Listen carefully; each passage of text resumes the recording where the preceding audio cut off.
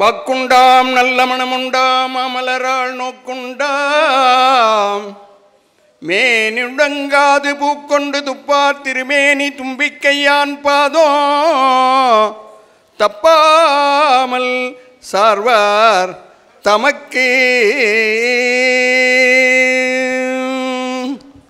மாலோன் மர்கனை மன்றாடி மைந்தனை வானவர்க்கு மேலான தேவனை மெஞ்ஞான தெய்வத்தை மேதினியில் சேலார் வயல் பொழில் சூழ் செங்கோடனை சென்று கண்டு தொழ நாலாயிரம் கண் படைத்திலனே அந்த நான்முகனே. சிவனை செல்வர்களே உங்கள் அனைவருடைய திருப்பாதங்களுக்கும் அடியனுடைய பணிவான வணக்கத்தை நமஸ்காரத்தை தெரிவித்துக்கொண்டு இன்றைய தின நிகழ்ச்சியை நாம் ஆரம்பிக்கின்றோம்.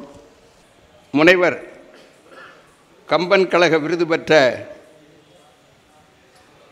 பெருந்தகையாளர் சிவத்திரு மாக்கி ரமணன் அவர்கள் இன்று அப்பரின் ஆளுமை திறம் என்ற தலைப்பிலே நமக்கு அரிய விருந்து அளிக்க இருக்கிறார்கள். தென்னாடுடைய சிவனே போற்றி எந்நாட்டவர்க்கும் இறைவா போற்றி. காவாய் கனகத்திரளே போற்றி. கைலை மலையானே போற்றி போற்றி. வெற்றிவேல் முருகனுக்கு அரோகரம் அருட்பெரும் ஜோதி அருட்பெரும் ஜோதி. தனிப்பெரும் கருணை அருட்பெரும் ஜோதி. ஊழியர்கோன் வெற்பொழித்த புகழியர்கோன் கடல் போற்றி. ஆழிமிசை கண்மிதப்பில் அணைந்த பிரான் அடி போற்றி. வாழி திரு நாவலூரர் வன் தொண்டர் பதம் போற்றி. ஊழிமலி திருவாத ஊரர் திருத்தாள் போற்றி போற்றி. எல்லாம் வல்ல முருகப்பெருமானுடைய திருவருளை வணங்கி அற்புதமான இந்த கந்தசுவாமி கோயிலில் நான் பேசுகின்ற பொழுது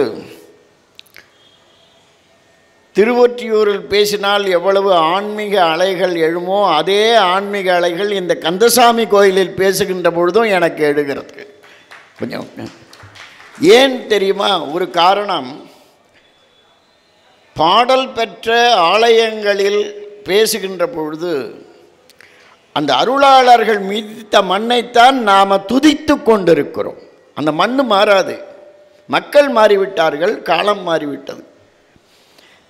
அதுபோல் இந்த அற்புதமான குயப்பேட்டை கந்தசாமி கோயிலில் பாம்பன் சுவாமிகளுடைய திருப்பாதங்கள் பட்ட ஒரு அற்புதமான ஒரு தலம். எனவே அந்த ஆன்மீக அலைகள் என்னை பேச வைக்கிறது.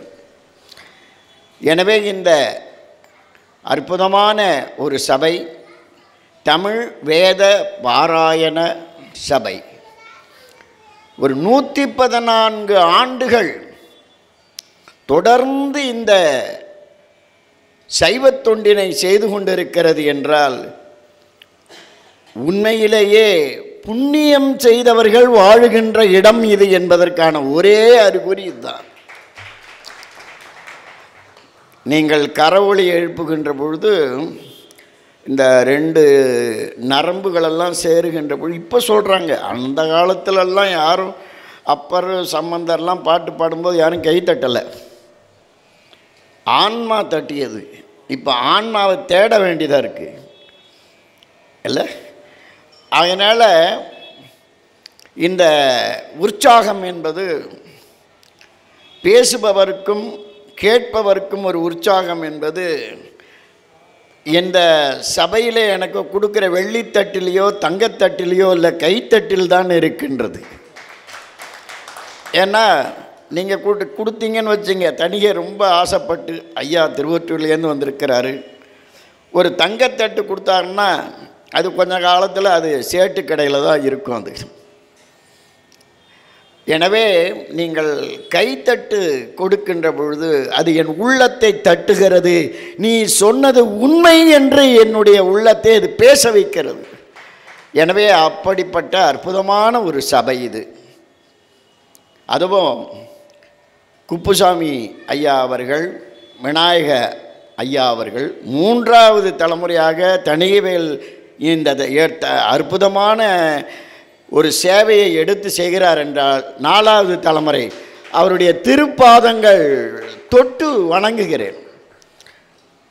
எற்றைக்கும் ஏழேழ் பிறவிக்கும் உற்றோமேயாவும் உனக்கே நாம் ஆட்செய்வோம் ஏழேழு பிறவிக்கும் உனக்கே ஆட்செய்வோம்னு பாட்டில் பாடுறோம். ஆனால் உண்மையிலேயே நாலு தலைமுறையாக இவர்கள் தொண்டு செய்கின்ற ஒரு குடும்பம் என்றால் அது இறைவனால் ஆசீர்வதிக்கப்பட்ட ஒரு குடும்பம் அவர்களை பாராட்டி மகிழ்கிறோம். அதற்கு ஒத்துழைக்கின்ற பெருமக்கள் இங்கே ஐயாலாம் உட்கார்ந்துருக்கிறாங்கன்னா இந்த செல்வ கணபதியெல்லாம் சாதாரண ஆள் இல்லை. அவர் ரொம்ப எளிமையாக உட்கார்ந்துருக்கிறார். எவ்வளவு வருடமாக அவரை நான் பார்த்துக்கிட்டு இருக்கேன். அன்றிலிருந்து இன்று வரை அப்படியே இளமையோடு இருப்பதற்கு காரணம் அவருடைய பக்தி தமிழ். பார்க்கின்ற பொழுது முதுமையாக இருக்கார் பேசுகின்ற பொழுது இளமையாக இருக்கார். இல்லை அவர் குரலை திறந்தால் பணப்பெட்டியை திறக்கிற மாதிரி அப்படி அப்படியே இருக்கிறாரு அப்படின்னு. ஆனால் ஆளை பார்த்தா கொஞ்சம் தளர்ந்து இருக்கிறாரு. என்ன? குரலை பார்த்தா வளர்ந்துருக்கிறாரு ஆளை பார்த்தா தளர்ந்துருக்கிறாரு. தமிழ். என்னை பார்த்து பலர் கேட்பார்கள் எழுபத்தி ரெண்டு வயதிலேயே நீங்கள் இப்படி இருக்க ஆண்டு பலவாக நரையில் ஆகுதல் யாங்காகியரனின் புறநானூற்று புலவன் சொன்னான் பிசிராந்தியார். ஒரு அஞ்சு காரணம்டான்னா என்ன காரணம்? மாண்ட என் மனைவியோடு மக்களும் நிரம்பினர் யான் கண்டனையர் இளையரும். என்னுடைய வீட்டில் இருக்கக்கூடிய வேலைக்காரர்கள் இளையவர்கள் நான் எதை நினைக்கிறேனோ அதை செய்கிறார்கள். சான்றோர் பலர் வாழும் ஊர். என்னுடைய நாட்டு மன்னன் செங்கோல் செலுத்துகிறான். எனவே ஐந்து நன்றாக இருப்பதால் நான் இளமையோடு இருக்கிறேன் என்று சொன்னான். இங்கு உள்ள பெருமக்கள் அனைவரையும் பா அந்த பாடல் பாடினார். ஐயாவோட பேர் என்ன? சுப்பிரமணிய ஐயா. எத்தனை வருடமாக பார்க்குறேன் எனவே ஆன்மீகம் என்பது இன்றைய தினத்தில் பணத்தில் இருக்கிறது. ஆனால் உண்மையாக ஆன்மீகம் என்பது இங்கு கூடியிருக்கின்ற அடியார் மனத்தில் இருக்கிறது. எனவே தான் அந்த ஆன்மீகத்துக்கும் இந்த ஆன்மீகத்துக்கும் வித்தியாசம் இருக்கிறது. எந்த கோயிலுக்கு போனால் பரிகாரம் எந்த கோயிலுக்கு போனால் பணம் கிடைக்கும் எந்த கோயிலுக்கு போனால் என்ன கிடைக்கும் என்று கோயிலை கூட ஒரு வியாபார வணிகத் தலங்களாக மாற்றிவிட்டார்கள். ஆனால் வணிகத் தலங்கள் அல்ல கோயில்கள் புனித தலங்கள் என்பதை உணர வேண்டும். புனித தலங்கள் வணிகத் தலங்கள் அல்ல. ரெண்டாவது கோயில் என்பது கொடுக்கக்கூடிய இடமே ஒழிய வாங்கக்கூடிய இடமில்லை. நம்முடைய உடல் பொருள் ஆவி சிந்தனை அனைத்தையும் இறைவனுக்கு அர்ப்பணிக்கின்ற ஒரு பெருமகனாரைத்தான் அப்பர் சுவாமிகள். அவருடைய ஆளுமை தரத்தைத்தான் இன்றைய தினம் பார்க்க இருக்கிறோம். எவ்வளவோ அருளாளர்கள். ஒருவர் இரண்டல்ல வாழையடி வாழை என வந்த திருக்கூட்ட மரபில் யான் ஒருவனன்றோ என்ன அழகா சொன்னார் வள்ளற்பெருமாள் இன்று நேற்று அல்ல உலகம் தோன்றிய நாளிலிருந்து அடியார்கள் வந்து கொண்டே இருக்கிறார்கள்னு சொன்னார். நாமும் கேட்டுக்கொண்டே இருக்கிறோம். ஆனால் திருந்துனோமா? அல்லது வருந்துனோமா? இல்லை. ஆனாலும் இறைவன் அருளாளர்களை அனுப்பிக்கொண்டே இருக்கின்றான். ஏன்? இந்த ஆன்மாக்களை கடைத்தேற்ற வேண்டும். நான்கு பேரை நாலு திசையில் அனுப்பிச்சார். போயா இந்த உலகத்தவர்கள் பின்பற்றுகின்ற ஒரு உத்தமமான நெறியை காட்டு. முதல்ல குழந்தைய அனுப்பிச்சார். அந்த குழந்தை மாதிரி நம்மாலெல்லாம் வாழ முடியுமா? இறைவனுக்கு நாம் குழந்தையாக இருக்க முடியுமா? சத்புத்திர மார்க்கம் கிரியை நெறி ஞானசம்பந்த பெருமான் பதினாறு ஆண்டுகள் வாழ்ந்தார். அதில் பதிமூன்று ஆண்டுகளில் பாடல் பெற்ற இரநூற்றி எழுபத்தாறு கோயில்களில் இரநூத்தி இருபத்தஞ்சு கோயில்களுக்கு சென்று வந்தாருங்க. பதிமூணு வருஷத்தில். இரநூத்தி இருபத்தி ஐந்து ஆலயங்கள். அதில் ஞானசம்பந்தர் மட்டுமே போன கா கோயில்கள் நூற்றி பதினொன்று அவர் மட்டும். சுந்தரர் போகலை நாவுக்கரசர் போகலை. சத்புத்திரமாக இருக்கும் இரண்டாவதாக ஒரு மார்க்கம் நமக்கெல்லாம் ரொம்ப ஏற்ற ஒரு மார்க்கம். இறைவனை தலைவனாக நாம் தொண்டனாக நங்கடம்பனை பெற்றவள் பங்கினன் தென்கரம்பை திருக்கர கோயிலான். தன்கடன் அடியேனையும் தாங்குதல் என் கடன் பணி செய்து கிடப்பதே என் கடன் பணி செய்து கிடப்பதே. நான் சேவை செய்வது தொண்டு செய்வது பணி செய்வது தான் எனக்கு கடமை. ஆனால் இந்த கடமைக்குரிய பலனை இறைவா நீ கொடுப்பாய். இதுதான் அப்பர் சுவாமியுடைய ஆளுமை. அது நமக்கு ஏற்ற ஒரு மார்க்கம். அது தாச மார்க்கம் என்று சொன்னார்கள். அடிமை நெறி. அதுக்கு வந்து சரியைன்னு சொன்னாங்க அதை. சரியை கிரியை யோகம் ஞானம் என்பதில் சரியை மார்க்கம் தொண்டு செய்தல். இன்றைக்கு நாவுக்கரச பெருமான் நால்வரில் நாவுக்கரச பெருமான் தான் உலகத்திலே எல்லோராலும் பின்பற்றப்படுகிறார் என்பதற்கு உதாரணம் நம்முடைய சென்னையிலே முதல் ஞாயிற்றுக்கிழமை ஒரு லட்சத்திற்கு மேல் உழவார பணி செய்கிறார்கள் என்பது ஒரு ஒரு பாராட்டத்தக்க ஒரு பெரிய விஷயங்க. ஒரு லட்சம் பேருக்கு மேலே உழவார பணி. கிட்டத்தட்ட ஒரு ஒரு நூறு கோயில்களில் உழவாரம் செய்கிறார்கள். இந்த உழவார பணி செய்கின்ற தொண்டர் ஒருவர் என்னோட வந்திருக்கிறார். நடராஜன் என்று பெயர். அவருக்கு என்ன வேலை இருந்தாலும் முதல் ஞாயிற்றுக்கிழமை உழவார பணிக்கு போயிடுவார். ஒரு லட்சம் பேர். இன்றும் நடக்கின்றது. வேற ஞானசம்பந்தர் நிறையோ சுந்தரமூர்த்தி நாயனார் நிறையோ மாணிக்க வாசகர் நிறைய பின்பற்றுவது அவ்வளவு எளிதல்ல. ஆனால் அனைவரும் தொண்டு செய்யலாம் உழவார பணி செய்யலாம் சேவை செய்யலாம் என்பதை உலகத்திற்கு எடுத்து காட்டிய ஒரு பெருமகனார் திருநாவுக்கரசராகிய அப்பர் பெருமான் அந்த மார்க்கம்தான் அற்புதமான ஒரு மார்க்கம். ஆயிரத்தி முந்நூறு ஆண்டுகளுக்கு முன்பு வாழ்ந்தவர் மறந்துவிடக்கூடாது. ஏழாம் நூற்றாண்டு மகேந்திர பல்லவனுடைய காலம். மூன்றாவது ஒரு நெறி இருக்க யோக நெறி அது நமக்கெல்லாம் அவ்வளவு ஆசைப்படலாம். நாம் ஆசைப்படலாம். ஆனால் கடவுள் ஆசைப்படணும்ல. அப்படி கடவுள் தன்னுடைய தோழனாக இருக்கிறான் என்று தெரிந்து கொண்டே செய்யக்கூடாததெல்லாம் செஞ்சார் அவர். பாடலில் பதிவு பண்ணியிருக்காரு ஏழிசையாய் இசைப்பயனாய் என்னுடைய தோழனுமாய். அதோட நிறுத்திக்கலாம்ல. யான் செய்யும் துருசுகள். தப்பு பண்ணுறேன்ப்பா அனைத்திற்கும் உடனாகி. சி- சிவபெருமான் என்ன பண்ணாரு? நம்ம நெருங்கிய தோழன் தப்பு பண்ண அட நீ தானப்பா நம்ம ஆளுப்பா அப்படின்னு விடலை. கண்ணை தோண்டிட்டாரு. எங்கள் ஊரில்? திருவொற்றியூர். இல்லையா? அதனால் நம்ம ஊர் நண்பர்கள்னு வச்சுங்க தப்பு பண்ணும்போது சேர்ந்து பண்ணுவோம். ஆனால் சிவபெருமானிடம் அது இல்லை. என்னால் அவர் அறமூர்த்தி சிவமூர்த்தி. சிவமூர்த்தி அறமூர்த்தி. தவறு நண்பன் செய்தாலும் சரி அது பார்வதியே செய்தாலும் சரி அதற்கு ஒரு சாபம் தண்டனை உண்டு. இது வேறு எந்த சமயத்திலும் கிடையாதுங்க. வேறு எந்த சமயத்துலையும் கிடையாது. நம்ம மனைவின்னா பரவாயில்ல மன்னிச்சிட்டு போகலாம் அப்படின்னு. எனவே அற்புதமான மூன்றாவது மார்க்கம் சுந்தரமூர்த்தி நாயனாருடைய சகமார்க்கம் அதுதான் யோக நெறி. நான்காவதாக ஒரு மார்க்கம் இருக்கின்றது சன்மார்க்கம்.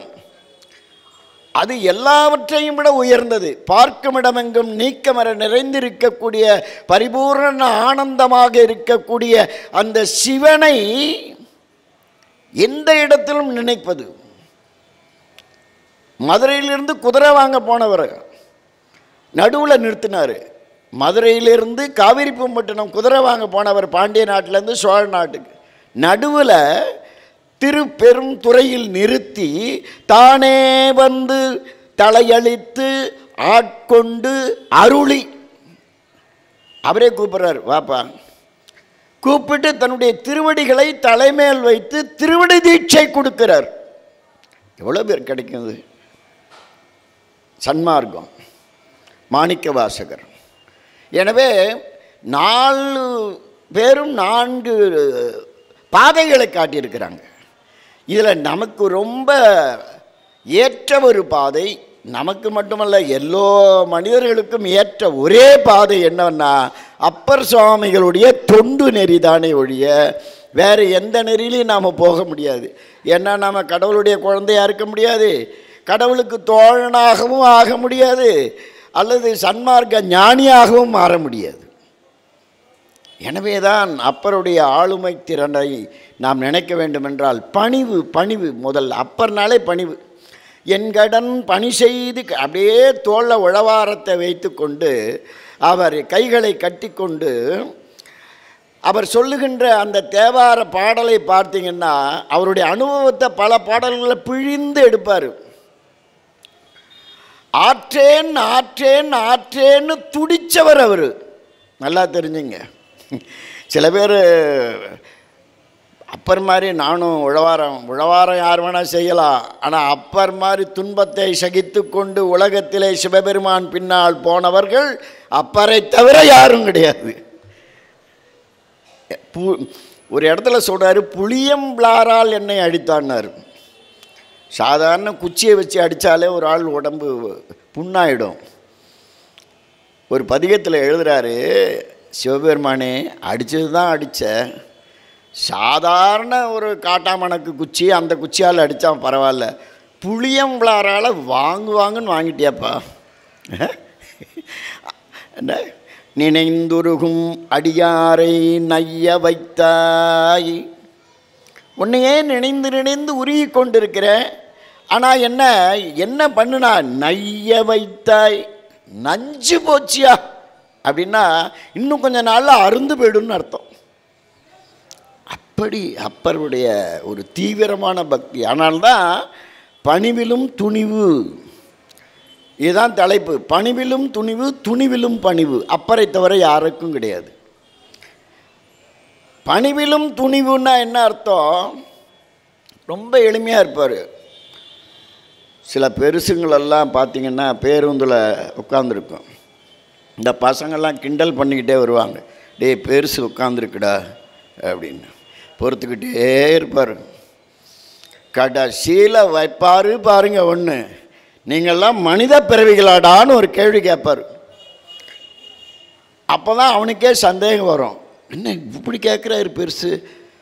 வாயே திறக்க மாட்டார்னு நினச்சேன். குணவெனும் குன்றேறி நின்றார் வெகுளி கணமேயும் காத்தல் எழுதுன்னு நான் வள்ளுவேன் அமைதியாக இருக்கிறவன் பணிவாக இருக்கிறவன் ஆத்திரப்பட்டான்னா அந்த உலகம் தாங்காது. அப்பர். நாமார்க்கும் குடியல்லோம்னார் மகேந்திர பல்லவனுடைய ஆட்கள் வந்து கூப்பிட்டாங்க டேய் நீ யார்ரா என்ன வந்து கூப்பிட? ராஜா கூப்பிட்றாரு நான். எந்த யார்ரா ராஜான்னா? நம்ம நாட்டை ஆளுகின்ற பல்லவன் மகேந்திர பல்லவன். நீதான் உனக்கு குடிமகன் நான் குடிமகன் என்ன நீ இந்த நாட்டில் இருக்கல்ல குடிமகன் தானே ரேஷன் கார்டு இருக்குல்ல ஆதார் அட்டை இருக்குல்ல எல்லாம் இருக்குது என்னுடைய ஆதார் அட்டையில் சிவபெருமானுடைய நம்பர் தான் பஞ்சாட்சரம் தான் இருக்கும். வேறு நம்பரே இருக்காது. என்னுடைய அட்ரஸுங்கிறது கைலாயம்தான் கோயில் தான். எனக்கென்று வீடு கிடையாது உறவு கிடையாது. அப்போது நாமாருக்கும் குடியல்லோன்னா அப்போ நீ வரமாட்டியாண்ணா? ம் உன்னை ஜெயிலில் தான் போடுவாங்க அண்ணாவை நடலை அல்லோம் அடுத்தது நாமார்க்கும் குடியல்லோம் நடலை அல்லோம் நரகத்தில் இடர்படும் நமனை அஞ்சோம். ஒவ்வொரு வார்த்தையும் சொல்கிறார் பாருங்க. நான் நடலைன்னா என்ன அர்த்தம்னா குற்றம் செய்கின்ற பொய் சொல்கின்றவன் என்ன? அடுத்தது சொல்கிறாரு உயிரை எடுத்துருவார்னார் நமனை அஞ்சோம்னா அவன் உன்னை ஜெயிலில் போடுவார்னா நரகத்தில் இடர்படும்னார் ஜெயிலில் போட்டாலும் ரிக்ரஸ் இம்ப்ரெசன்மெண்ட்டு நரகம். நரகத்தில் இடர்படும் நடலை அல்லோம். நமனை அஞ்சோம். ஏமாப்போம். அப்பா விஷம் வச்சு கொண்டுடுவார் பிணி எறியோம். ஏன்னா சிவபெருமான் எனக்கு துணையாக இருக்கும்போது உங்கள் மன்னன் என்னை எதிர்த்தா ஒன்றும் பண்ண முடியாதுன்னார் அவர். இந்த இந்த ஒரு பணிவிலும் துணிவு யாருக்கு வரும்? என்ன? கடைசியில் இவ்வளவும் செஞ்சுட்டு ஏன் ஏன் இப்படி கஷ்டப்பட்டுட்டு உட்காந்துருக்கேன்றதுக்கு அடுத்து பதில் சொன்னார். நான் ஒன்றும் கஷ்டப்படலப்பா. இன்பமே என்னாலும். ஏயா இவ்வளவு தூரம் பாடுபடுத்துகிற எப்படியா இன்பமாக இருக்கேன்னா நமச்சிவாயத்தை சொல்லிக்கொண்டே இரு உன்னுடைய துன்பங்கள் இன்பமாக மாறும். நம்முடைய துன்பங்களை இன்பமாக மாற்றுவதற்கான ஒரே பஞ்சாட்சரம் நமச்சிவாயவே ஞானமும் கல்வியும். நமச்சிவாயவே நான் அரி இச்சைகள். நமச்சிவாயன் சொன்னால் போதும் நம்முடைய துன்பமெல்லாம் இன்பமாகிவிடும் எவ்வளவு அழகாக சொல்கிறாரு. இதைத்தான் திருமூலர் சொன்னார். ரொம்ப அழகாக சொன்னார். யார் ஒரு தவம் செய்கிறார்களோ அவர்களுக்கு இந்த உலகத்தில் எந்த துன்பமும் வராதுன்னாரு. நடுங்கதுலம் இங்கில்லை நமனும் இல்லை இடும்பையும் இல்லை ராப்பகல் இல்லை. ஒடுங்கி நிலை பெற்ற உத்தமர் உள்ளம்னார் திருமூலர். யார் உள்ளத்தை நிலைநிறுத்துகின்றாரோ ஒடுங்கி நிலை பெற்ற உத்தமர் உள்ளம் நடுங்குவதும் இல்லை நமனும் அங்கில்லை இடும்பையும் இல்லை ரா பகல் அங்கில்லை. படு பயனும் இல்லை பற்றுவிட்டோருக்கே. திருமூலர். எனவே அப்படி தமம் செய்து கொண்டிருக்கிறார். நமச்சிவாய என்ற சொல்லை. அவர் யார் தெரியுமா? பூர்வ ஜென்மத்தில் வாகீச முனிவர்னு பேர் அவருக்கு. அப்பருடைய பூர்வ முன் ஜென்மத்தில் வாகீச முனிவர் அவர். ஒரு பிறவியில் நாம் ஒரு சின்ன தப்பு பண்ணால் மறுபிறவியில் அந்த தவறை அனுபவிக்கணும். ஏதோ பல தவறுகளுக்கு நடுவில் நீங்கள் புண்ணியம் செஞ்சதுனால தான் கொசப்பேட்டையில் இந்த அற்புதமான ஒரு திருமுறைகள் கேட்கின்ற ஒரு இடத்துல வந்து உட்கார்ந்துருக்கீங்க. இல்லைன்னா வேறு கடையில் போய் உட்கார்ந்துருப்பீங்க. இல்லை? வினை பயன்க இந்த வினை பயன் யாரையும் சும்மா விடாது. வாகீச முனிவர் என்ன தப்பு பண்ணார்னா சுந்தரர் மாதிரியெல்லாம் அந்த கமலினி அணிந்ததையெல்லாம் பார்க்கல மேலே. ரொம்ப சுத்தமான பழுக்க பழுத்த பிரம்மச்சாரி அவர். அவர் என்ன பண்ணிட்டார்? ராவணன் இலங்கையை கஷ்டப்பட்டு தூக்குகின்ற பொழுது மேலேந்து சிவபெருமான் கட்டை விரலால் ஒரு அமுக்கு அமுக்குன உடனே நசுங்கி போயிட்டான். என்ன? பத்து தலை இருபது தோள் கரங்கள் கொண்ட வாரணம் பொருத மார்பும் வரையினை எடுத்த தோளும் நாரத முனிவர்க்கேற்ப நயம்பட உரைத்த நாவும் தாரணி மவுளி பத்தும் சங்கரன் கொடுத்த வாளும் இவ்வளவு உடையவன் ராவணன் அந்த இமயமலையை கைலாய மலையை பெயர்த்த உடனே அமுக்கின உடனே நசுங்கி போன உடனே இந்த வாகிசி முனிவர் சும்மா வாயை வச்சுக்கிட்டு இருக்கக்கூடாது அவர் உன் காலை எடுக்கணும்னா சாமகானம்னா அவர் காலை எடுத்துருவார். பாடுறா சாமகானம்னாரு. அவன் என்ன பண்ணா தன்னுடைய ஒற்றை கையை எடுத்து அந்த நரம்புகளால் மிகவும் கடினமான ஒரு சங்கீதம் உலகத்திலேயே சாமகானம் தான் அந்த சாமதானத்தை பாடின உடனே அதை கேட்ட சிவபெருமான் அழித்து கொண்டிருந்த அந்த கைலாமலை எடுத்துட்டார் இவன் தப்பிச்சிட்டான். முடிஞ்சதாக இந்த கதை முடிஞ்சுது. இதை பார்த்துக்கிட்டே இருந்தார் நம்மாள் நந்திகேஸ்வரர். ஏப்பா உன் வேலை என்ன? அவனுக்கு வந்து அவன் ஆணவம் பிடிச்சி கைலாசத்தையே தூக்குறான். அவன் அவனுக்கு வந்து நீ வந்து தப்பிக்கிறதுக்கு வழி சொல்லுகிறாயா என்று நந்தீஸ்வரருக்கு கோபம் வந்தது. ஏன் நந்தீஸ்வரருக்கு ராவணன் மேலே கோபம் வந்ததுன்னா அவன் சும்மா இல்லாமல் ராவணன் என்ன பண்ணிட்டான்? நந்தீஸ்வரரை பார்த்து என்னையா மனுஷன் மாதிரி உன் முகம் இல்லை. குரங்கு மாதிரி இருக்கு உன் முகம். இந்த முகத்தை வச்சுக்கிட்டு எப்படியா காவ காக்கிறேன்னு கேட்டுவிட்டான் வாயை வச்சுக்கிட்டு சில பேர் சும்மா இருக்கிறது இல்லை சில பேருக்கு சனி நாக்கில் தான் இருக்குது ஜாதகத்தில் இல்லை நாக்கில். உடனே என்ன பண்ணிட்டாரு? என் அழகான என்னுடைய ரிஷப வாகனத்தை எத்தனை அடியார்கள் போற்றி துதிக்கிறார்கள்? அதை பார்த்து குரங்குன்னு சொன்னியே ராவணா! எந்த குரங்குன்னு சொன்னிய அந்த குரங்கு படையாலேயே உன் ஆட்சி அழியட்டும்னு சாபம் விட்டார். அதனால தான் ராமன் அழைத்து கொண்டு வந்த வானர படைகளோடு ராவணன் அழிந்தான். யார் விட்ட சாபம்? நந்திகேஸ்வரர். யார் அதற்கு யோசனை கொடுத்தவர் வாகீச முனிவர் எனவே வாகீச முனிவர் இந்த யோஜனையை சொன்னதுனால நீர் மனிதராக போகட்டும்னு. இப்போ புரியுதுங்களா? நாம் இருக்கிற இந்த மனித உலகம் ஒரு புழல் மாதிரி. மேலே ஏதாவது தப்பு பண்ணோன்னு வச்சுக்கோ. புழலுக்கு அனுப்புகிற மாதிரி நீ மனுஷனாக பிறந்துரு அப்படின்ட்டுருவாங்க இதுலேயே A grade jail B grade ஜெயில்னு இருக்குது இப்போ சில பேர் உள்ளே இருக்கிறவன்லாம் இங்கே வெளியில் இருக்கிறத விட சந்தோஷமாக உள்ளே இருக்கான் என்ன வெளியில் என்னெல்லாம் கிடைக்காதோ அதெல்லாம் உள்ளே கிடைக்குது. அது மட்டும் இல்லை வெளியில் இல்லாத இன்னொன்று பாதுகாப்பு. அது உள்ள பாதுகாப்பு இருக்குது அதனால் சில பேர் உள்ளேயே நான் அங்கே இருக்கிறேன் என்னை வெளியில் தள்ளாதீங்கன்றாங்க. இல்லை? அதுபோல் அந்த தண்டனை என்பது சிறையில் போடுவது. வான உலகத்தில் தண்டனை என்பது மனிதனாய் பிறப்பது. வான உலகத்தில் தண்டனை என்பது மனிதனாய் பிறப்பது அதில் கொஞ்சம் புண்ணியம் பண்ணியிருந்தால் கொஞ்சம் பணக்காரனாகவும் பண்புள்ளவனாகவும் பிறப்பான். பணக்காரனாகவும் பண்புள்ளவனாகவும் சிவபக்தனாகவும் பிறப்பான். அது இல்லைன்னு வச்சுங்க அவ்வளவுதான்.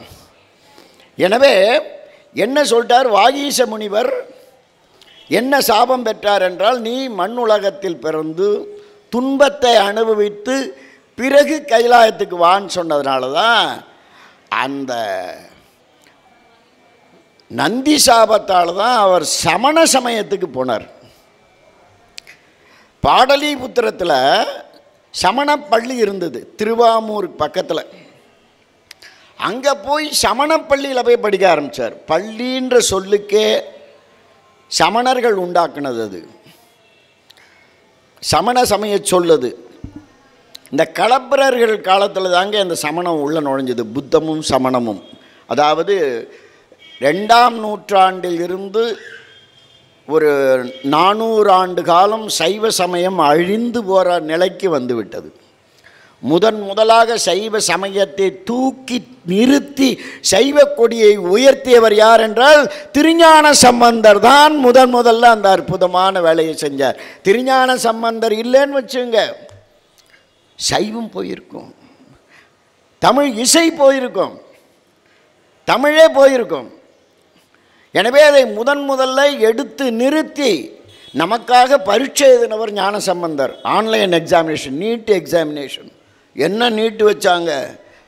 இப்போ நீட்டு வச்சது கொஷின் பேப்பர் அவுட்டுங்கிறாங்க ஆனால் அன்னைக்கு நீட்டு வச்சாங்க ஞானம் நீ எதை வேணால் நீட்டுறா என் கொஷின் பேப்பரை நீட்டு அல்ல நீட்டை நீட்டு. அனல்வாதம் புனல்வாதம் ஜெயிச்சு காட்டினாரு. அவர் மட்டும் அந்த எக்ஸாமில் ஃபெயிலாக இருந்தார்னா சைவ சமயமே ஃபெயிலாக இருக்கும் வாழ்க அந்த நர்வாணவர் ராணினம் வீழ்க தன் புனல் வேந்தனும் ஓங்குக. ஆழ்க தீயதெல்லாம் அரண் நாமமே சூழ்க வையகமும் துயர்த்திரு. இது வந்து புனல்வாதம். அனல்வாதத்தில் போகமார்ந்த பூன்மனைன்னு நல்லாற்று பதிகத்தை எழுதி போட்டார் இது தீயில் வேகவில்லை. இது ஞானசம்பந்தர் செய்தது. அவர் காலத்தில் வாழ்ந்தவர் தான் நாவுக்கரசர் ஆகிய அப்பர். எனவே அப்பர் பெருமான் சமணப்பள்ளியில் போய் ஏன் சேர்ந்தாருங்கிறதுக்கு நான் காரணம் சொன்னேன். முற்பிறவியில் அவர் செய்த சிறு தவறு சைவத்தை மறந்தார். ஏன்னா அப்பா அம்மா இல்லை புகழனார் மாதினியார் இறந்துட்டாங்க. ஒரே அக்கா. தன்னுடைய தம்பிக்காகவே வாழ்ந்த அக்காவே ரெண்டு பேரை நாம் மறக்கக்கூடாது. அந்த ரெண்டு பேர் இல்லைன்னு வச்சுங்க நம்ம சைவ சமயத்தில் சங்கீதமும் கிடையாது தொண்டும் கிடையாது. திலகவதியார் இல்லைன்னா திருநாவுக்கரசர் ஆகிய தம்பி கிடையாது. அது மாதிரி அருணகிரிநாதரை உருவாக்குனது யாருன்னா அவங்களுடைய தமக்கையார். அக்கா எத்தனை அக்கா உலகத்தில் அப்படி இருக்காங்க? தம்பி அதுவும் எப்படி? கலிப்பகையாரோட நிச்சயதார்த்தம் ஆயிடுச்சுங்க. நிச்சயதார்த்தம் ஆன பிறகு கலிப்பகையார் வாதாபியில் சண்டைக்கு போகிறார் அந்த வாதாபி போரில் கலிப்பகையார் வீரமரணம் அடைகிறார். திரும்பி வரும்போது இல்லை. அதுக்குள்ளே இங்கே திலகவதியார் கைமை கோலம் பூண்டு விட்டார். ஏம்மா கல்யாணமே ஆகலை அம்மி மிதிக்கலை அருந்ததி பார்க்கலை மாங்கல்யம் கட்டலை. எப்படிம்மான்னு கேட்டா என்ன காலம் ஆகுது? ஒரு நிச்சயதா இன்னாருக்கு இவர்னு சொன்னாலே முடிஞ்சு போச்சுங்க கல்யாணம். புரியுதா? இப்போ கல்யாணத்தை விட விவாகரத்து தான் ஜாஸ்தியாக இருக்குங்க. திருமண மன்றங்களை விட நீதிமன்றங்களுக்கு தான் ஜோடியாக போய் கடைசியாக ரெண்டு பேரும் ஒரு அறிக்கை விடுறாங்க பாருங்கள் நாங்கள் இருவரும் சந்தோஷமாக வாழ்ந்தோம். ஆனால் இப்பொழுது இருவரும் சந்தோஷமாக பிரிகிறோம். எப்பா பிரியறதில் என்னடா சந்தோஷம்னா? நாங்கள் ஒன்றாக இருந்து சந்தோஷத்தை அனுபவிக்க முடியாததுனால் வேறு வேறு திசைக்கு போய் அந்த சந்தோஷத்தை தேடுகிறோம்ன்றான். டேய் திருமணம் ஆன பிறகு இன்னும் ஒரு ரகசியத்தை சொல்கிறேன். நம்முடைய இந்து தர்மத்தில் விவாகரத்து என்பதே கிடையாது. நல்லா தெரிஞ்சுங்க. விவாகம்தான் உடைய ஒழிய விவாகரத்தே கிடையாது. ஆனால் மேல்நாட்டு நாகரீகம் இங்கு வந்த பிறகுதான் என்ன திருமண ஒப்பந்தம் நாங்கள் அதை. கான்ட்ராக்ட்னா கான்ட்ராக்ட் முடிஞ்சு போச்சுன்ட்டான் இவன். கான்ட்ராக்ட் முடிஞ்சு போச்சு. ஆமாங்க திருமண ஒப்பந்தம் தானுங்க. ஒப்பந்தம் எவ்வளோ நாளைக்குங்க இருக்கும்? முடிஞ்சு போச்சு அப்படின்றான். ஆ? ஆனால் திலகவதியார் திருமணமே செய்து கொள்ளவில்லை. ஆனால் கலிப்பகையார் மறைந்த உடனே தன்னை மாய்த்து கொள்ள போகின்ற பொழுதுதான் காலை பிடித்து கொள்கிறார் மருள் நீக்கியார். அவருடைய உண்மையான பேர் மருள் நீக்கியார். அக்கா உங்கள் ஆதரவில் தான் நான் இருக்கிறேன். நீங்களும் இந்த உலகத்தை விட்டு போய்விட்டால் நான் எப்படி வாழ்வேன்? உங்களுக்கு முன்னால் நான் என்னை மாய்த்து கொள்கிறேன் என்று தம்பி சொன்ன உடனே தான் அக்கா சொல்கிறாள் தம்பி உனக்காக நான் வாழ்வை தியாகம் செய்கிறேன் உனக்காக வாழ்கிறேன் என்று வாழ்ந்தவர் தான் திலகவதியார். உண்மையிலே திலகவதியார் அறுபத்தி மூன்று நாயன்மாரில் ஒரு ஆளாக வைக்கணும். ஏன்னா திருநாவுக்கரசரை உருவாக்குனது திலகவதியார் தான் சிவபெருமான்கிட்ட போய் திருவதிகளை வேண்டுறாங்க. என் தம்பி இப்படி சமண சமயத்தில் போய் செய்யக்கூடாதெல்லாம் செய்கிறாரேன்னு சிவபெருமான் சொல்கிறாரு அப்படி தான் செய்வார் நீ கவலைப்படாத. அவருக்கு ஒரு மருந்து வச்சுருக்கேன் நான் கொடுத்துட்றேன்னாரு. மருந்து வச்சுருக்கீங்களா? ஆமாம் சிவபெருமான் நிறைய பேருக்கு விதவிதமான மருந்து வச்சுருப்பார். சில பேருக்கு சித்த சித்த மருந்து கொடுப்பாரு. சில பேர் அக்கு பஞ்சர் போடுவார். சில பேருக்கு ஆப்ரேஷன் பண்ணுவார். அது சிவபெருமான் யாருக்கு என்ன செய்கிறாருன்னு நமக்கு தெரியாது. சொன்னார். அதுபோலவே குற்றாயினவாறு விளக்கி அகலீர் கொடுமை பல செய்தன யான் அறியேன். ஏற்றாய் அடிக்கே இரவும் பகலும் பிரியாது வணங்குவன் எப்பொழுதும் தோற்றாதென்பயிற்றின் அகம்படியே குடரோடு துடக்கி முடக்கியிட ஆற்றேன் அடியேன் அதிகை கட்டில வீரட்டான துறை எம்மானே. இந்த ஒரு பாடலை பாடுங்க. தீராத வைத்திய ஒளியெல்லாம் தானாக போகும். மருத்துவரை நம்பாதீங்க. சிவபெருமான் தான் வைத்தியநாதன். உண்மையான டாக்டர் வைத்தீஸ்வரன் கோயிலில் தான் இருக்கிறான். அவன் மண்ணை எடுத்து கொடுத்தாலும் மருந்தாகும். எங்கே? வைத்தீஸ்வரன் கோயில். அதுதான் வைத்தியநாதர். அவருடைய மகன்தான் முத்துக்குமாரன். அவருடைய மனைவி தான் தையல் நாயகி. தீராத நோயெல்லாம் தீர்த்து வைப்பான்னு பண்ணார் அதை. எனவே ஆற்றேன் அடியேன் அதிகை கட்டில சூளை. சிவபெருமானுடைய ஒரு அன்பை பாருங்க. குழந்தைக்கு சூளையை கொடுத்தா தாங்குவாங்க. அஹ், குழந்தை. குழந்தைக்கு பாலை கொடுத்தார். பெரியவருக்கு சூளையை கொடுத்தார்.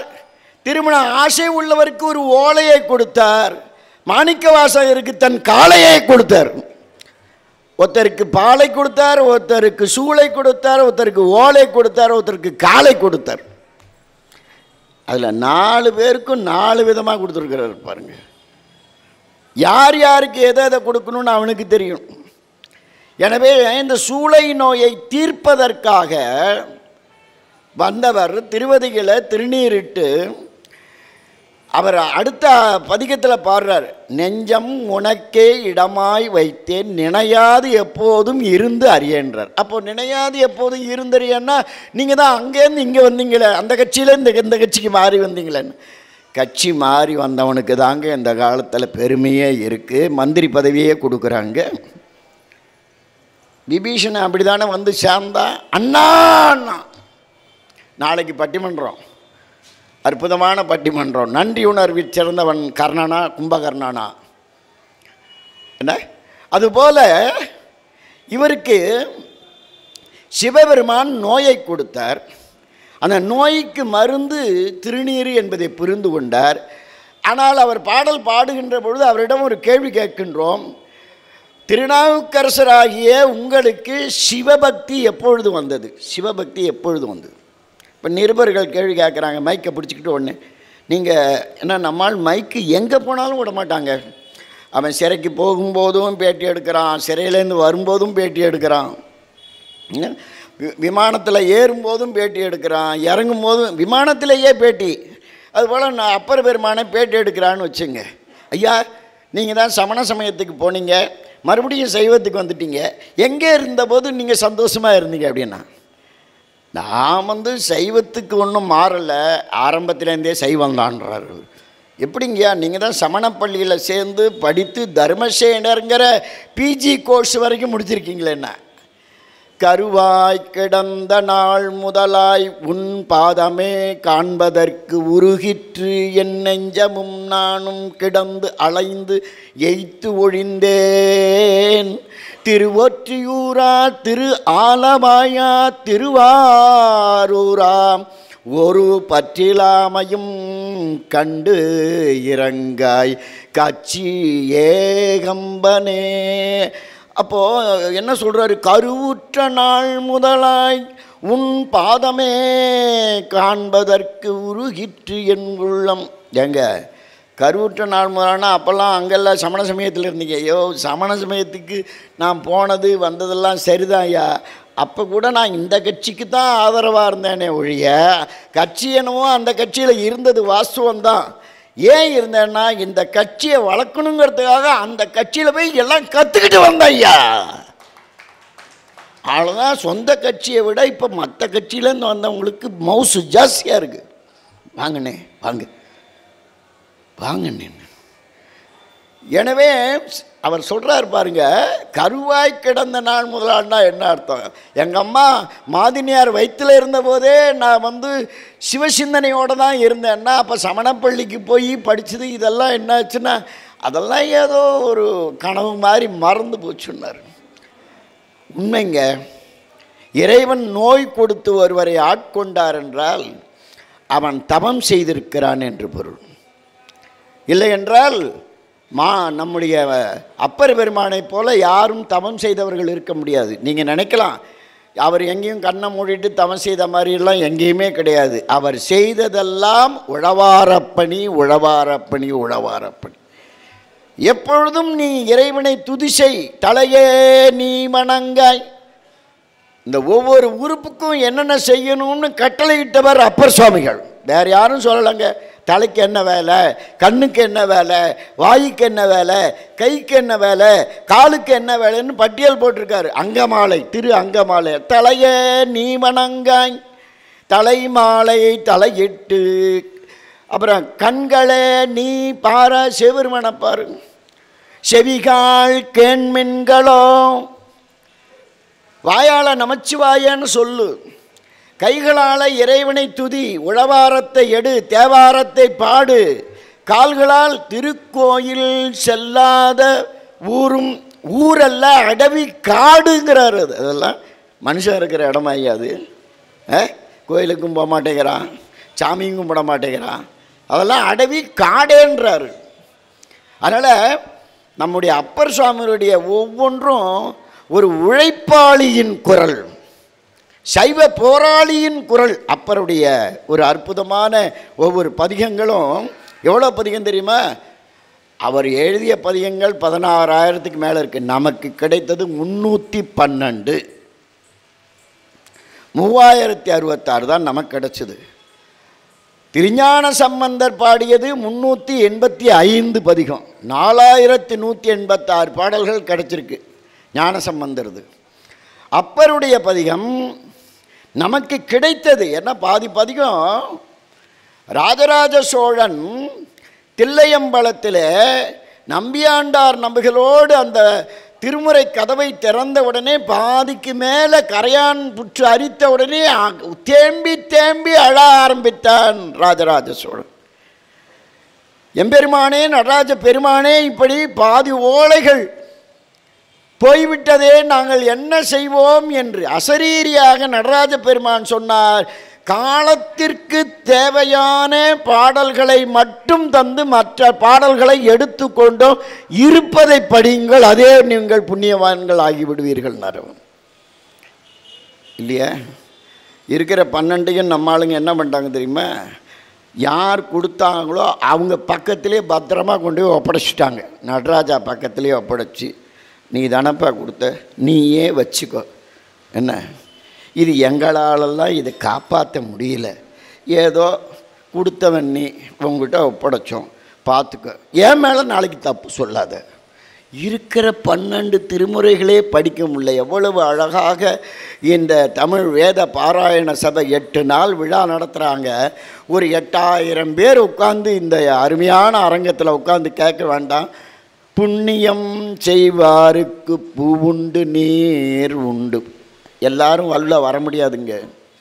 அதுக்கு என்ட்ரன்ஸ் ஃபீஸ் இருக்குது யார் புண்ணியம் செய்திருக்கிறானோ அவன்தான் திருமுறைகளை கேட்க முடியும் அவன்தான் திருமுறைகளை பாட முடியும். மற்றவர்களால் பாட முடியாது கேட்க முடியாது. உட்கார முடியாதுங்க. சார் உட்காந்து பார்த்தேன். ஒன்றும் பிரியலைன்னா. பிரியலையா அவனுக்கு? ஆவி பிரியிற மாதிரி இருந்துதான். நான் ஈந்து வந்துட்டேன் சார். என்ன பாடுறாங்கன்னு ஒன்றும் பிரியலைங்கிறான். தமிழ் எப்படி அவனுக்குள்ளே இறங்கியிருக்கு பாருங்க. திருமூலர் சொன்னார் முன்னை நன்றாக முயல் தவம் செய்கிலர் பின்னை நின்று என்னே பிறவிகள் பெறுவது என்னை நன்றாக இறைவன் படைத்தனன் தன்னை நன்றாக தமிழ் செய்யுமாறு. யாருக்கெல்லாம் தமிழ் மிக அழகாக உள்ளே நுழைகிறதோ அவர்கள் தவம் செய்தவர்கள் தமிழ் உள்ளே நுழையாதவர்கள் தவம் செய்யாதவர்கள் அவர். அது தமிழ் உள்ளே போகாது. சார் நானும் கோயிலில் சொல்கிறாங்கன்னு அஞ்சு நிமிஷம் உட்காந்தேன் சார். முடியல சார். என்னமோ சொல்கிறார் சார். முன்னை நன்றாக முயல் தவம் செய்தவர் தான் தமிழை பாட முடியும் தமிழை கேட்க முடியும். எனவே ரொம்ப அழகாக அப்பர் பெருமான் அந்த திருவரிகையிலிருந்து ஒவ்வொரு ஆலயமாக வருகிறார். திருஞான சம்பந்தரோடு மூன்று முறை சந்தித்து மூவரும் சேர்ந்து திருப்பணிகள் செய்கிறாங்க. அந்த திருநாவுக்கரசர் மட்டுமே செய்த அற்புதங்கள் பல இருக்கிறது. திருநாவுக்கரசர் மட்டுமே செய்த அற்புதங்கள். முதல்ல ஞானசம்பந்த பெருமானோடு சேர்ந்து அந்த திருப்பூந்தூர்த்தியில் போய் அந்த முத்து பள்ளக்கில் குழந்தை ஏறிட்டு போகுது இவர் தூக்குறாரு பெரியவர். யார்? அப்பர் தூக்குறாரு ஞானசம்பந்தர் உட்காந்துருக்கிறாரு இதை எங்கள் புலவர் ஒருத்தர் பார்த்தாரு. என்னங்க இது? அப்பர் பெருமான் பெரிய பெரியவர் வயசானவர்.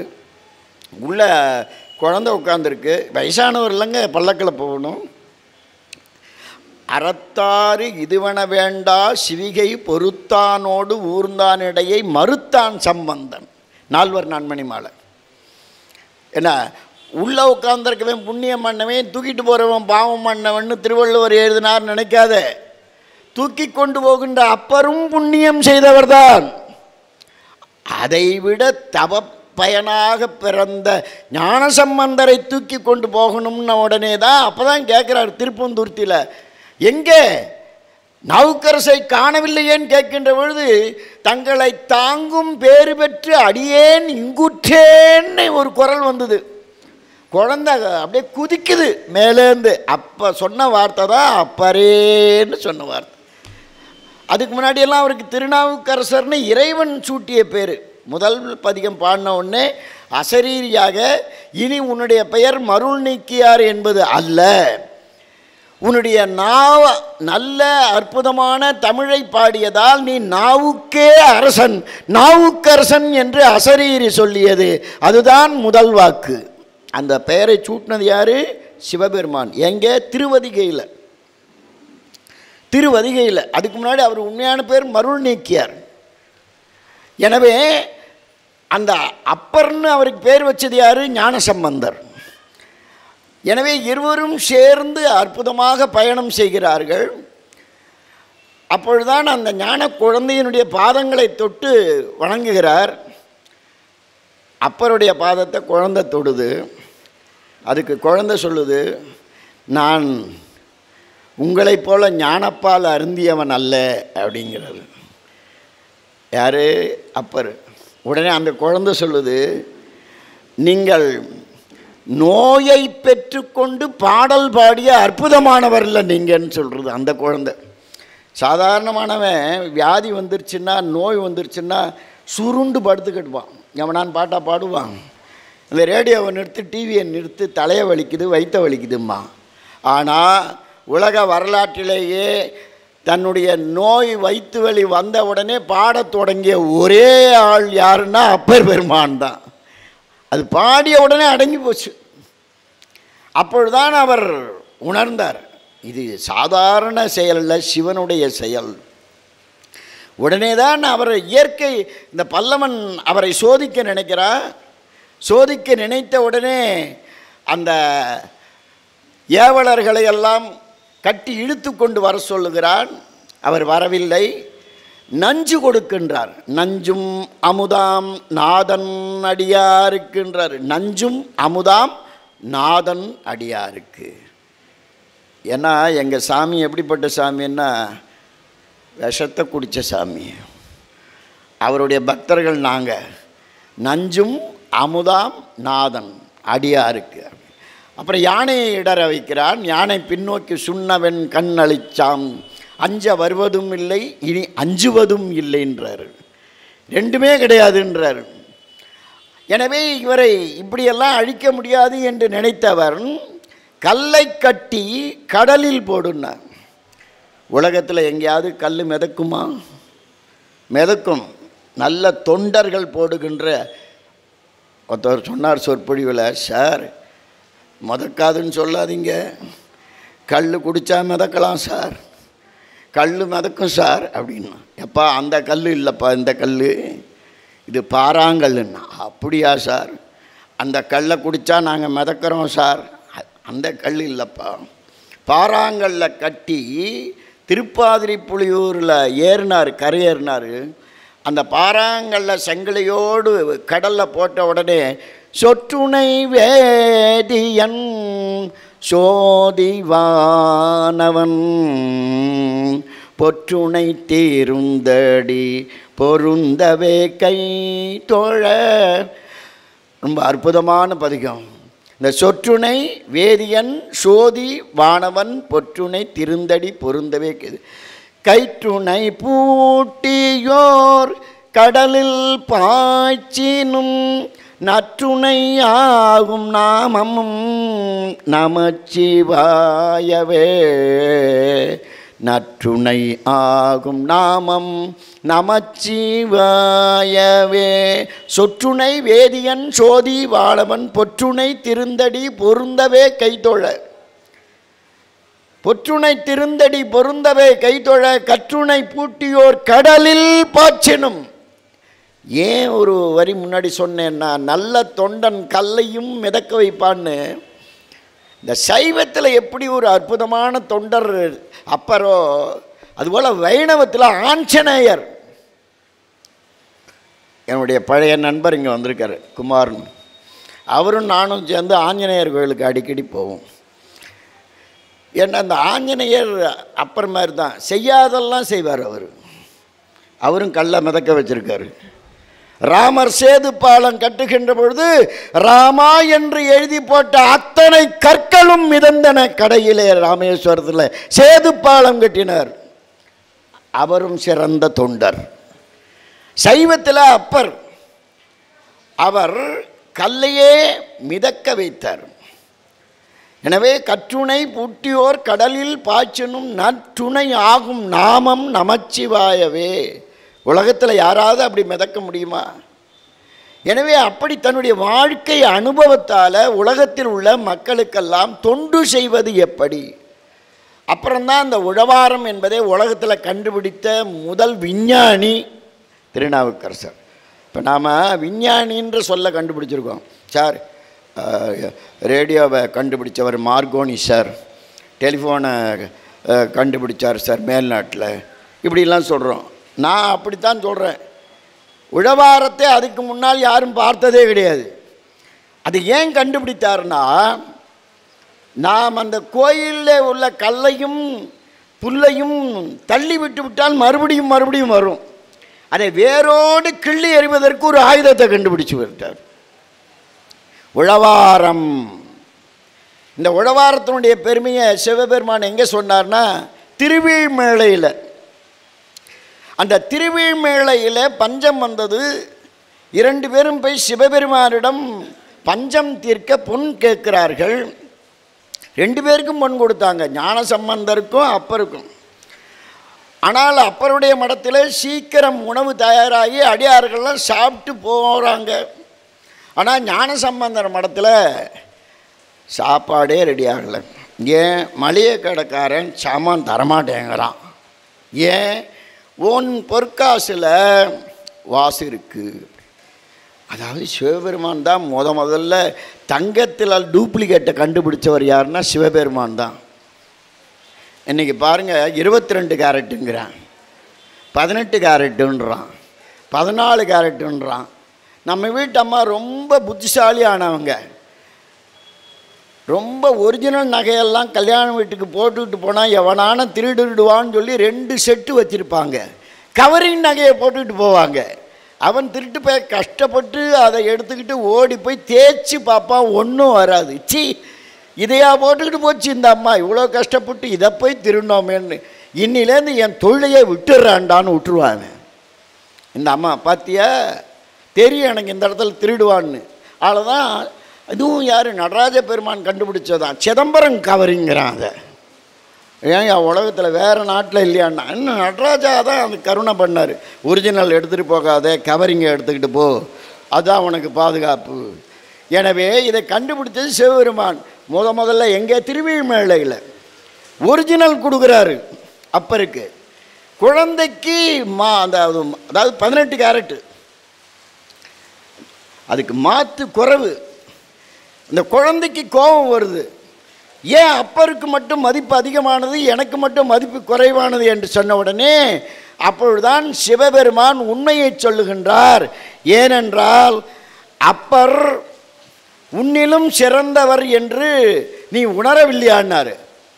என்னிலும் சிறந்தவர் என்றால் நான் தாழ்ந்தவனா? அப்படியல்ல. நீ சிறந்தவன் என்பதால் தான் மூன்று வயதிலேயே உனக்கு ஞானப்பால் கொடுக்க வைத்தேன். அப்பா என்னை விட அப்பர் எப்படி சிறந்தவர்? நீயும் சிறந்தவர் அவரும் சிறந்தவர் தான் ஆனால் உன்னை விட அவர் இரண்டு மடங்கு சிறந்தவர்னா. எப்படின்னா ஞான சம்பந்தா நீ தேவாரம் பாடி என்னை மகிழ வைக்கிறாய். ஆனால் அப்பரோ தேவாரத்தோடு உழவாரமும் செய்கிறார். எனவே தேவாரம் உழவாரம் இரண்டும் இருப்பதால் உன்னை விட அவர் எனக்கு மிகவும் அன்புடையவர். குழந்தையால் எங்கேயாவது உழவாரம் பண்ண முடியுமா? குழந்தையே உழவாரம் சைஸுக்கு தான் இருக்கும். ஆ? நிற்க வச்சா உழவாரமும் ஞான சம்பந்தரும் ஒரே உயரம் தான் இருப்பாங்க. ஆ? இது யார் சொன்னது? திருவிழிமழையில் இறைவன். திடீர் திடீர்னு அப்பருக்கு ஒரு சந்தேகம் வந்துடும் ஏன்? என்னுடைய பக்தி குறைவா? அது மாதிரி தான் கதவு திறக்கும் போது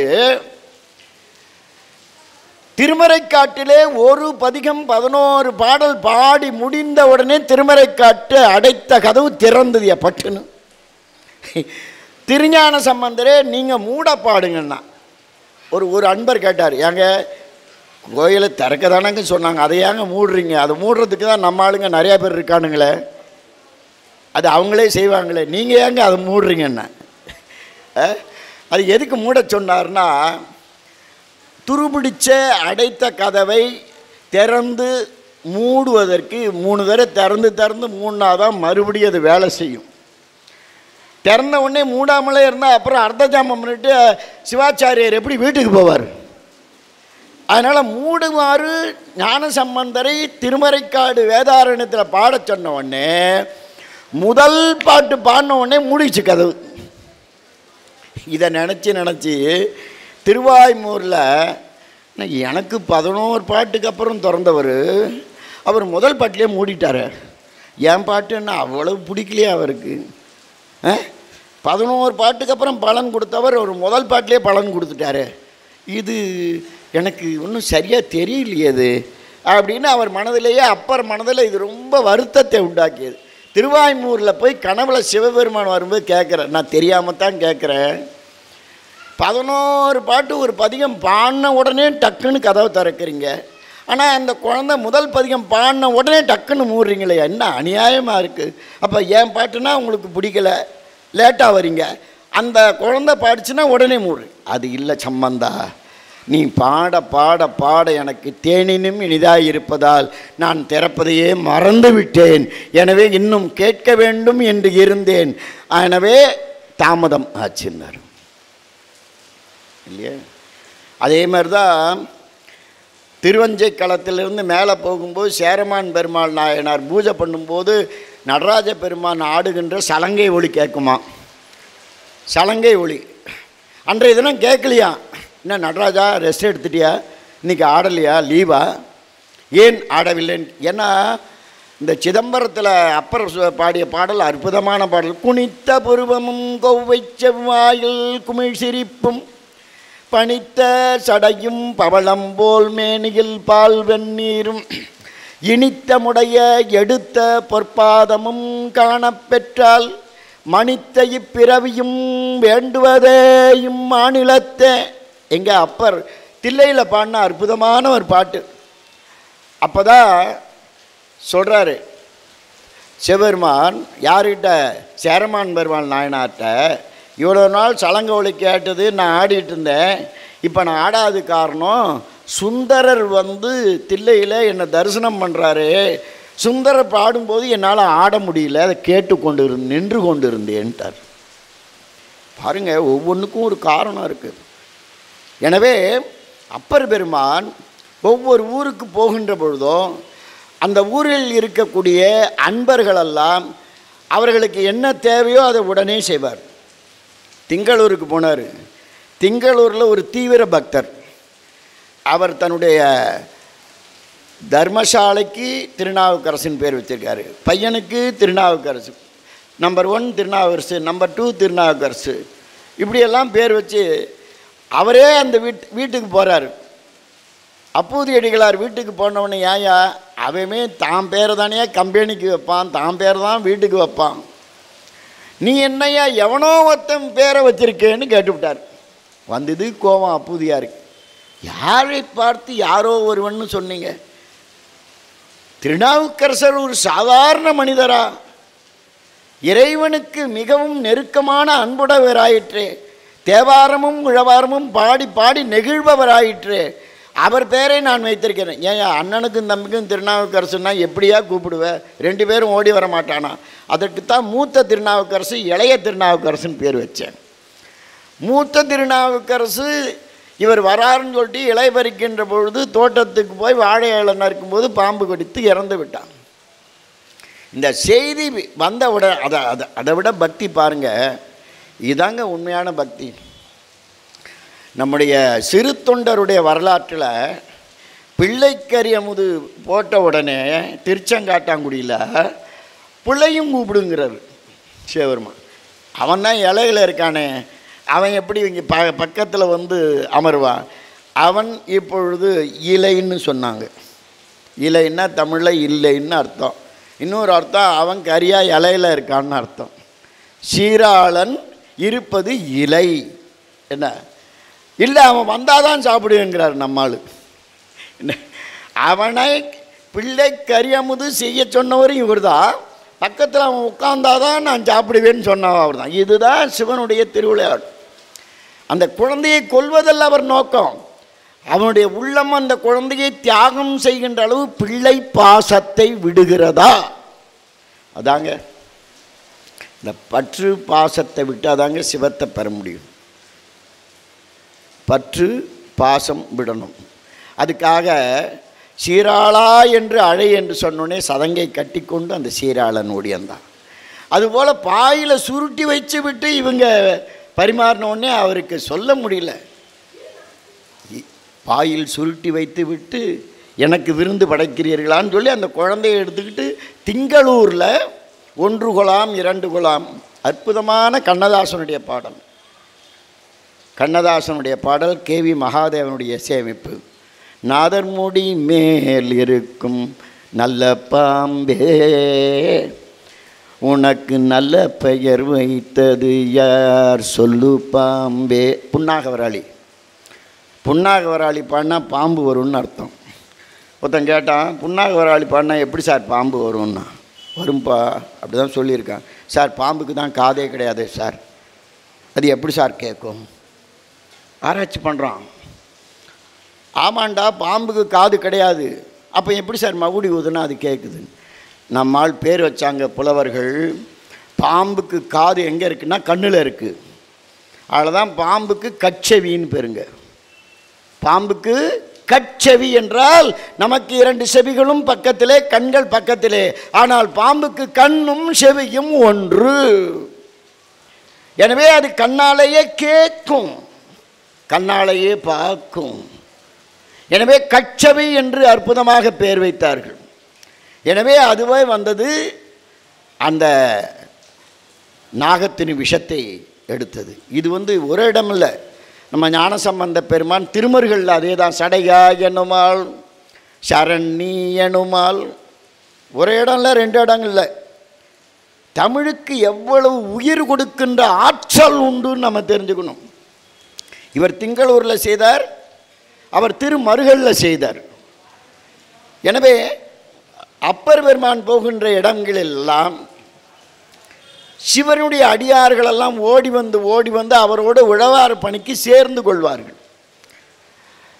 கடைசியாக கைலாயம் போகணும்னு நினச்சவர் ஸ்ரீ ஸ்ரீசைலெல்லாம் தாண்டி காசிக்கு போயிட்டார். மூவரில் காசி வரைக்கும் நடந்து போனவர் இவர் மட்டும்தான். ஞானசம்பந்தர் காலகஸ்தியோடு நின்றுட்டார் இந்த காளகஸ்தியிலேருந்து கைலாயத்தை பாடினார். அப்படியே டெலஸ்கோப் வச்சு பார்க்குற மாதிரி. அதே ஞானசம்பந்தர் ராமேஸ்வரத்தில் போய் நின்றுட்டார் ராமேஸ்வரத்துலேருந்து இலங்கையை பாடினார். திருக்கேதீஸ்வரம் திருகோணமலை. இந்த ராமேஸ்வரத்துலேருந்து பார்த்தார். அதுபோல் இங்கே காளகஸ்தியிலேருந்து ஞானசம்பந்தர் பார்த்தார். நம்மால் நேராக போயிட்டார். போனால் சாதாரணமாக போகல என்ன? அவருக்கு என்ன சிவபெருமான் பல்லக்கு கொடுத்துருக்காரா? பரிவாரம் கொடுத்துருக்காரா? ஒன்றுமில்லை. நடந்து நடந்து ஓடுறாரு. நடந்து போகிறாரு அடிக்கடி அவர் பாடல்களில் பார்த்தீங்கன்னா மனசை பார்த்து கேட்பார் நிலைமை சொல்லும் நெஞ்சே தவம் என் செய்தாய். கலைகள் ஆயவல்லான் கையிலாய நன்மலையன் நம் தலையின் மேலும் தங்கவே.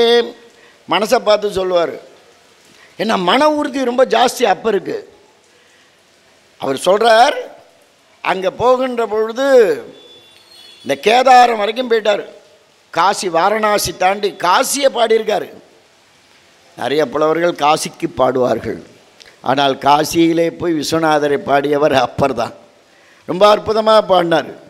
பாடின பிறகு அங்கே சிவபெருமான் முனிவராக வந்து எப்பா கைலாசம்லாம் போக முடியாது உனக்கு நடந்து நடந்து எலும்பெல்லாம் தேஞ்சு போச்சு அன்னார். மூட்டெல்லாம் தேஞ்சு போச்சு.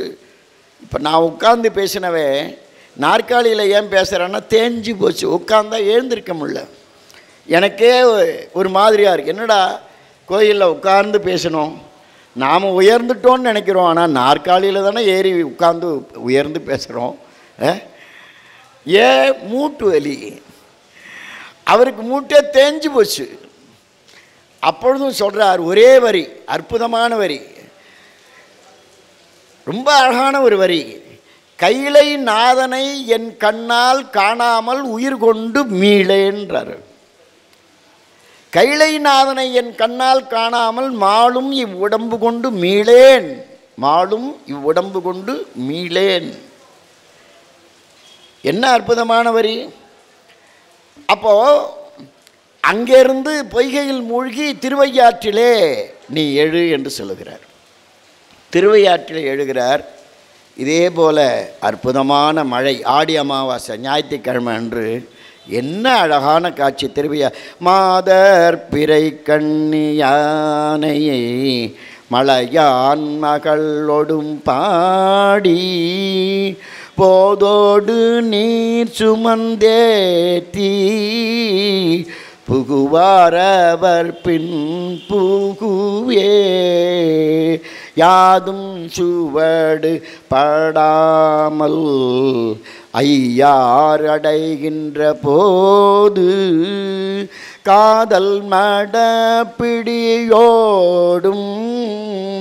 களிறு வருவன கண் கண்டே கண்டேன் அவர் திருப்பாதம் கண்டறியாதன கண்டேன் கண்டேன் அவர் திருப்பாதம் கண்டறியாதன கண்டேன் கண்டேன். யாருங்க அது பார்த்ததை சொல்லுவா? யார் பார்த்தது சொல்லுவா? அந்த பதிகத்தை எடுத்து பார்த்தீங்கன்னா ஒரு அற்புதம் என்னென்னா சிவனும் பார்வதிங்கிற பேரே அதில் கிடையாதுங்க. இந்த உலகத்தில் இருக்கக்கூடிய ஓசை ஒளியெல்லாம் ஆனாய் நீயே. அப்பனும் நீ அம்மையும் நீ ஐயனும் நீ அன்புடைய மாமனும் நீ மாவியமும் நீ உன் பொருளும் நீ உலகத்தில் எல்லாமே சிவன் தான்யா அப்போது திருவையாறில் அவர் இந்த பதிகத்தில் என்னென்ன பாடுறாருன்னா ஆண் யானை பெண் யானை களிறு பிடி. இந்த இந்த நிறைய பேருக்கு ஆண் பெண் உள்ள வித்தியாசம் தெரியாதுங்க. காளை பசுவே ஒரு பையனுக்கு தெரிலங்க ஆம்பளை மாடு பொம்பளை மாடுங்கிறான். டேய் பொம்பளை மாடு இல்லைடா பசுடான்னா. இல்லை அது பொம்பளை மாடு இல்லையா? பால் கறக்கலையா? கண்ணு போடலான்றான் டேய் அதுக்கு ஒரு சொல் வச்சுருக்காங்கடாண்ணா. நீ ஆனால் அந்த சொல்ல சொல்லிங்க. மாடில் பெண் தானே இதுன்றான் நம்முடைய தமிழ் இலக்கியத்தில் ஒவ்வொன்றுக்கும் ஒரு பெயர் வைத்திருக்காங்க. ஆண் குரங்கு பெண் குரங்குக்கு ஒரு பேர். கடுவன் மந்தி.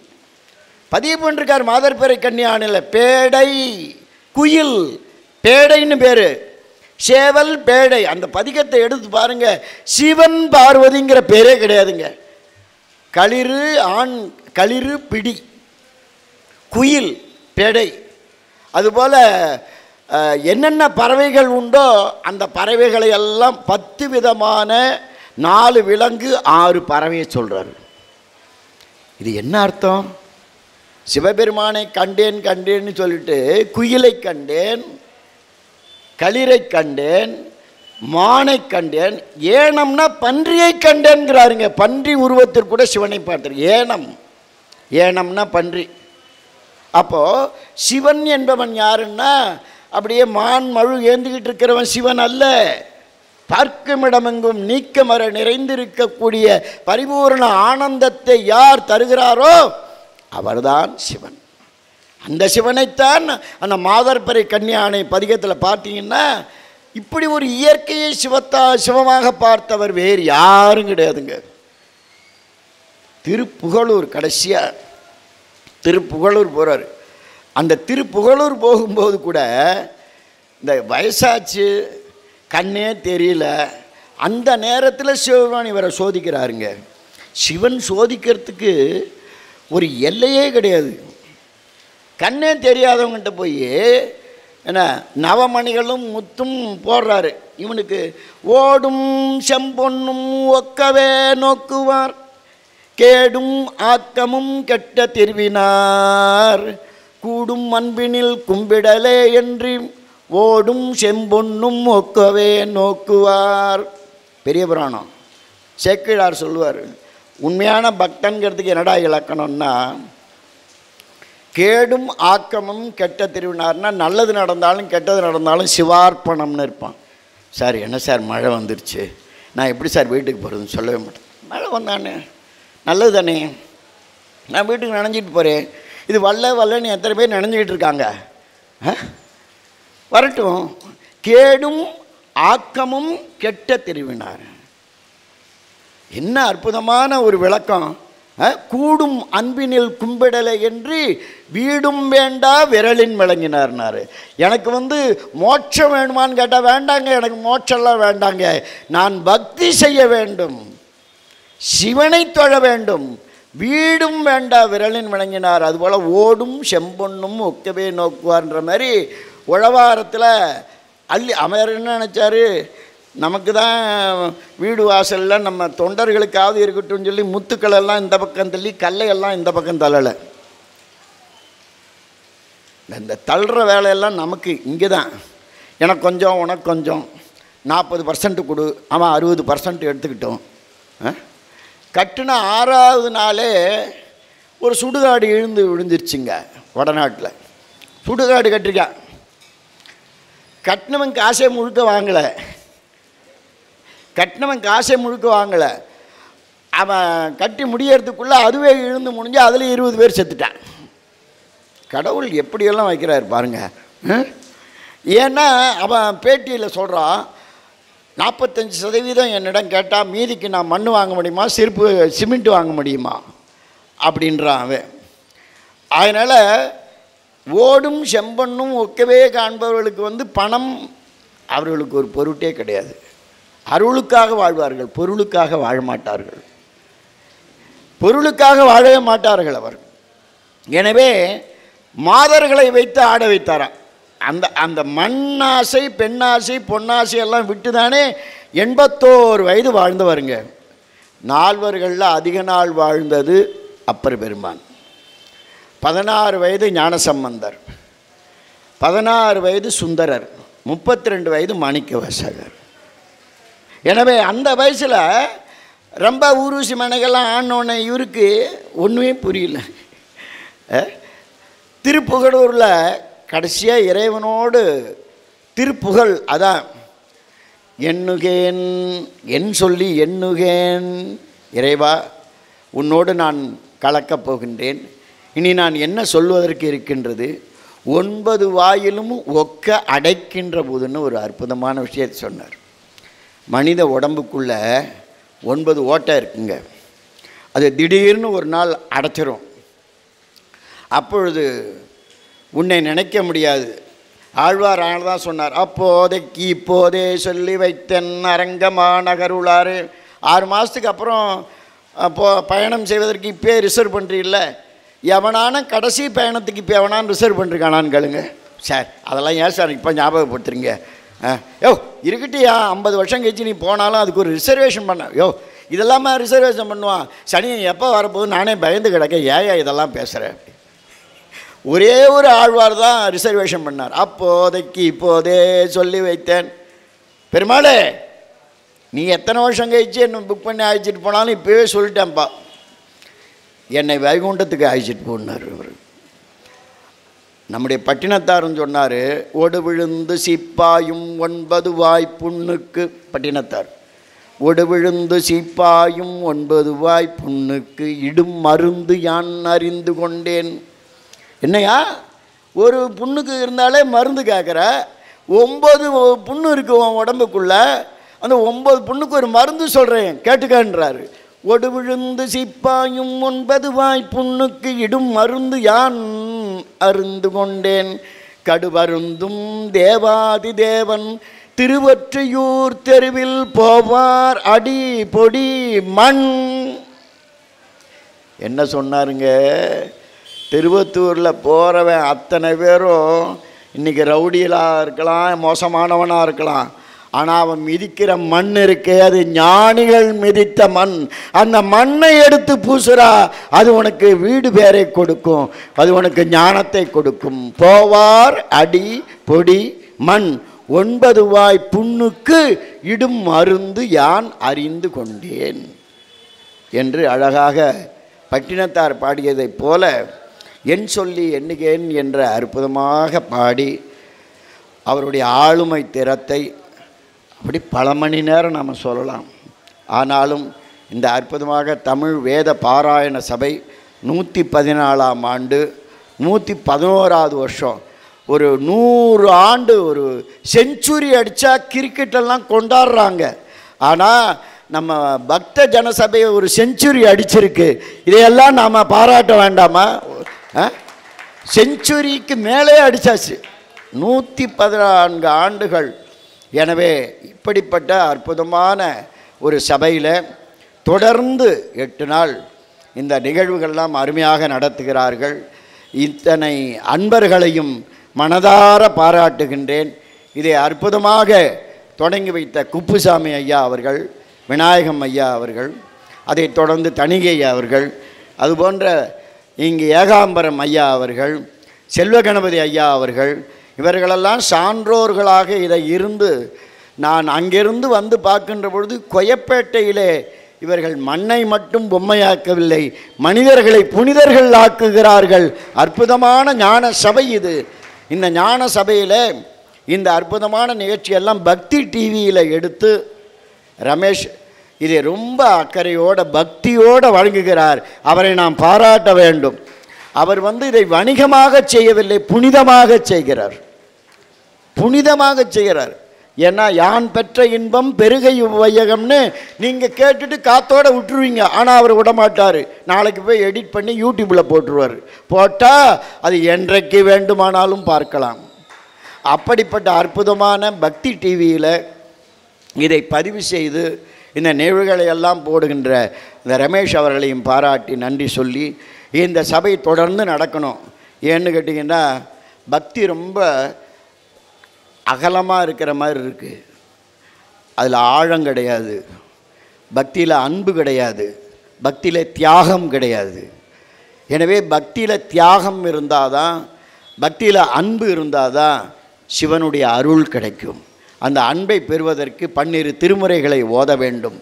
நாள் வழி நடக்க வேண்டும் என்று சொல்லி அன்பு பாராட்டிய அத்தனை நெஞ்சங்களுக்கு நன்றி பாராட்டி அமைகிறேன். நன்றி வணக்கம். ஆறு தடந்தோள் வாழ்க அன்முகம் வாழ்க வெற்பை கூறு செய்தனிவேல் வாழ்க. குக்குடம் வாழ்க செவ்வேள் ஏரிய மஞ்சை வாழ்க யானைதன் அணங்கு வாழ்க மாறிலா வள்ளி வாழ்க. வாழ்க சீரடியாரெல்லாம் வெற்றிவேல் முருகனுக்கு அரோகர். தென்னாடுடைய சிவனே போற்றி என் நாட்டவர்க்கும் இறைவா போற்றி காவாய் கனகத்திரளே போற்றி கைலை மலையானே போற்றி போற்றி.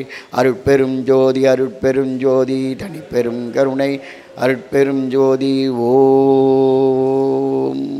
अस्ति ये ज्ञानम् अस्ति ये लोकम् अस्ति ये ज्ञानम् अस्ति ये मोत्रम्